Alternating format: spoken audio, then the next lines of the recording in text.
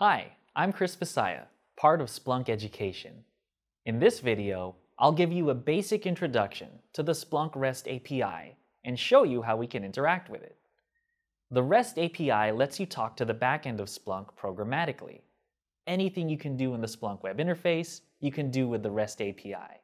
In fact, Splunk Web is built on top of it. The API is divided into endpoints, or URIs, served by the Splunk server, Splunkd.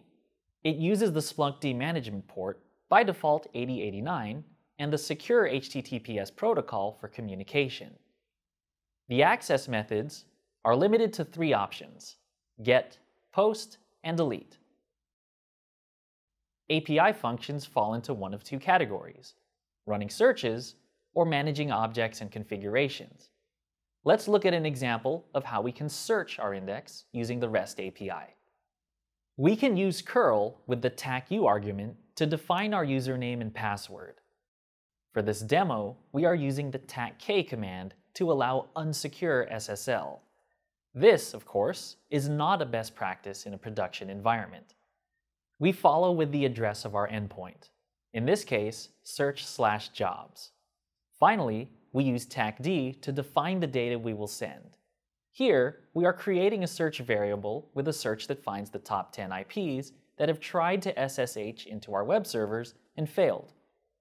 The search ID, or SID, is returned, which points to an artifact of the search. An artifact contains information about the search, like arguments passed to the search, events, and search status. This SID will only be valid for the lifetime of the search job by default, 10 minutes. Before we access events from the search, we will want to make sure it has completed. We do this by authenticating and entering the search ID as the endpoint for the call. In the response, we can see all the details of our search job and see that the job has completed. Now that we know the search is finished, we can request its results. For this call, we authenticate and add the results endpoint after the search ID. And just like that, we have a response of our results showing the top 10 IPs with failed logins. As you may have noticed, the default response for the REST API is in XML. If we need the response to be returned in another format, we can add an output mode variable. Output modes include multiple versions of JSON, CSV, and RAW. Using our prior call, we add a GET request with tac tac get followed by a tacd command to define the data we are sending. We then enter the output mode variable, for this example, CSV format. Now we can see the response has been formatted to comma-separated values.